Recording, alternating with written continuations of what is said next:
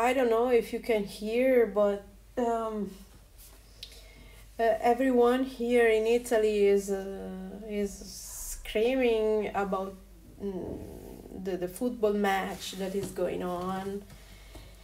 Everybody's happy. Everybody is like, ah, we love each other. Everything is super amazing, and I'm here wondering about what's going on with um, social relationships and everything because I cannot understand people anymore.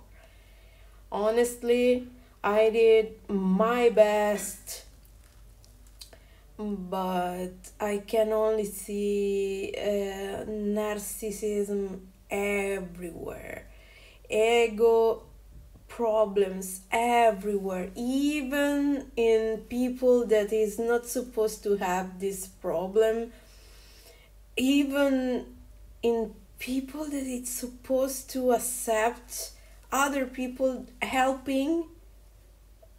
And no no no way.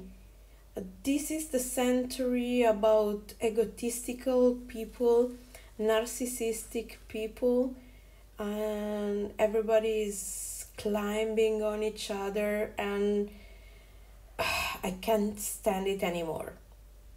Honestly, I don't want this kind of a relationship anymore and I prefer to stay alone with my cats that uh, they are somewhere over the rainbow in my house.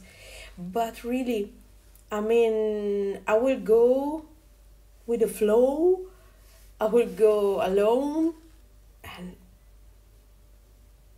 I think